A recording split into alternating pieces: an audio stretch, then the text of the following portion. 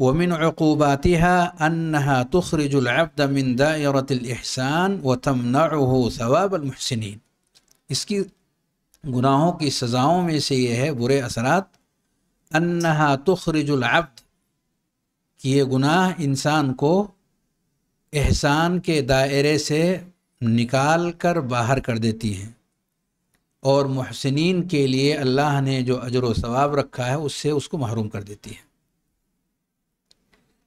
अब आगे इसकी जो वजह ज़िक्र कर रहे हैं, वो काबिल गौर है। फरमाते हैं फ़िन एहसान इदा बाशरक़ल्ब मनाहू मिनलमासी क्योंकि इंसान के अंदर जब एहसान की सिफत पाई जाती है तो ये सिफत इंसान को गुनाहों से दूर कर देती है। जब भी ये सिफत इंसान के अंदर पाई जाएगी, गुनाहों से वो इंसान कोसों दूर अपने आप को कर लेगा। वो कैसे? फ़िन मन आबद अल्लाह का अन्न यराह, क्योंकि जब कोई शख्स अल्लाह रब्बुल आलमीन की इबादत ऐसे करे, गोया कि वो अपने रब को अपने सामने देख रहा है का अन्न यरा लम यकुन ज़ालिका इल्ला इस्तीला ज़िक्र ही व महब्बत ही व खौफ़ी व रजाई।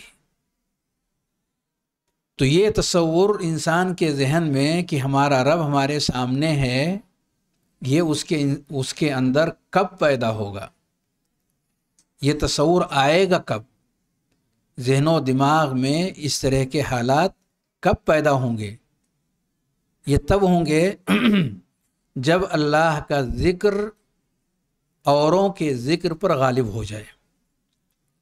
अल्लाह का ज़िक्र औरों के ज़िक्र पर गालिब हो जाए।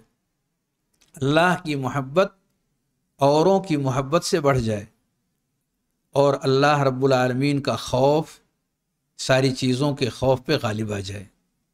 रब से उम्मीद, खैर की उम्मीद, औरों की उम्मीद से आगे हो जाए।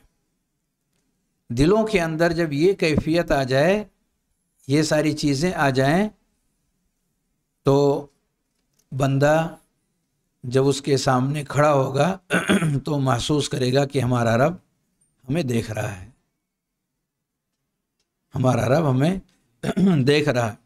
हमारी सारी हरकतें अल्लाह रब्बुल आलमीन पे पोशीदा नहीं है। तो ये हालत जब किसी इंसान के अंदर आ जाए, इस तरह की हालतें तो उसके अंदर ये जुरात पैदा ही कैसे हो सकती है? कि उसके हुक्म की मुखालफत कर जाए। जो चीज़ वो नहीं चाहता, जो चीज़ उसे पसंद नहीं है, वो चीज़ें ये अपनी ज़िंदगी के अंदर ले आए। इसकी हिम्मत और इसका हौसला उसके दिलो दिमाग, उसकी खटक भी उसके दिलो दिमाग के अंदर नहीं पैदा होगी।